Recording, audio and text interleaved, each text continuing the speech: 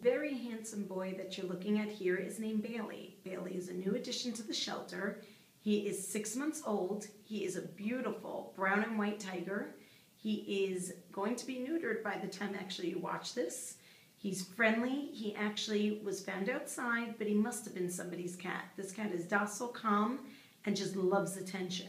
So if you're looking for a kitten who's neutered, up to date, so quite a package, with a really great personality, this handsome boy here is Bailey, and he's just waiting for you to come in and meet him.